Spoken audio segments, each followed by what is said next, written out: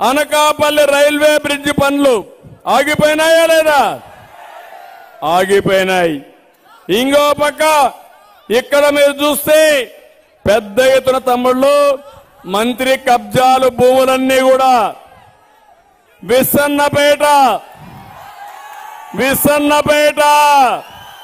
ఆరు వందల తొమ్మిది ఎకరాలు భూమి. ఆంఫాట్. అయిపోయిందా? అయిపోయింది చేతులపై ఎత్తండి అయ్యా కోడిగుడ్డు సమాధానం చెప్పి దీనికి. ప్రజా కోర్టులో నిన్ను దోషిగా నిలబెడుతున్నా సమాధానం చెప్పమని ఛాలెంజ్ చేస్తున్నా.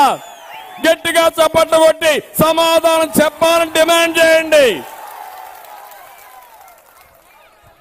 అదే కాదు ఇంకో పక్కన మీరు చూస్తే ఎక్కడికక్కడ తోటలు తొలగించి డీ పట్టా భూముల్లో రోడ్లు వేస్తున్నారు కొండలు గుట్టలు గడ్డలు మొత్తం మింగేసే మంత్రి ఈ కోడుగుడ్డి మంత్రి. ఇంకో పక్కన చూస్తే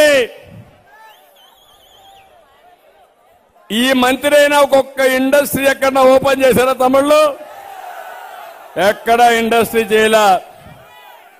ఇంకో పక్క నేను ఇక్కడ కేఎన్ఆర్ పేటలో కాపు భవనానికి భూమి ఇచ్చాను ఆ భూమిని వైసీపీ ఆఫీసుగా మార్చుకున్నారంటే ఎవడిచ్చాడు నీకు ఈ అధికారం అని అడుగుతున్నా. ఇంకో పక్కన పరిశ్రమలు రాలేదు మళ్ళా పరిశ్రమలు రావాలంటే తెలుగుదేశం పార్టీ రావాలి.